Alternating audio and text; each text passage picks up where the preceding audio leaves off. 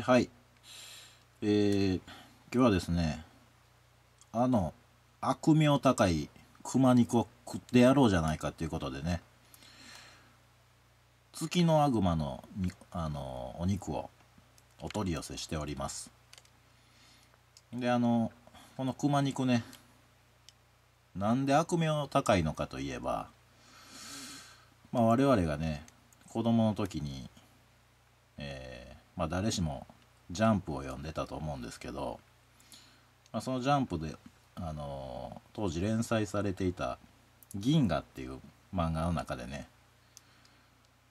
武田の実様っていう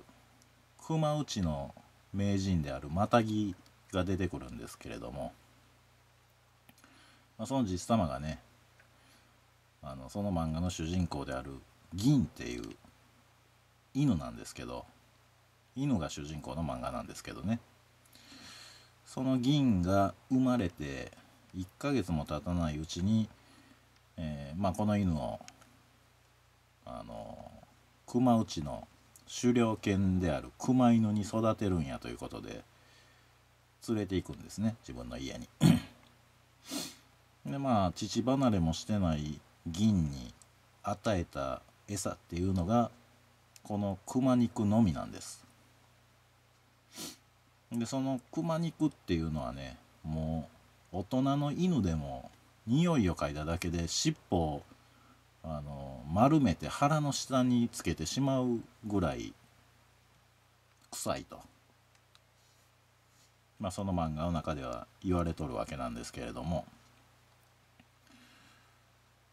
まあそれほど臭い肉をねまあ子犬である銀に与えるわけなんですけれども、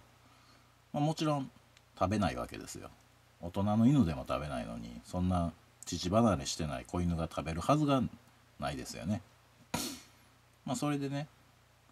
あのまあ銀も餌を食べないんで日に日に衰弱していくわけなんですけれどもまあある日その銀が生まれたいあの家の子供である大輔っていう少年が、まあ、議員のことが心配でね様子を見に来るんですよ。でその時に目にした姿がその衰弱しきってる銀とその銀の目の前に置かれてる熊肉まあこれを目にしてもう大輔が激高するわけなんですね。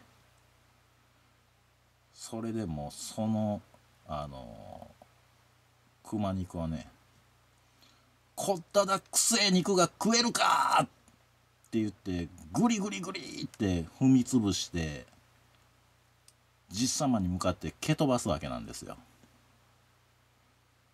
で実様が立ち上がってカッと目を見開いて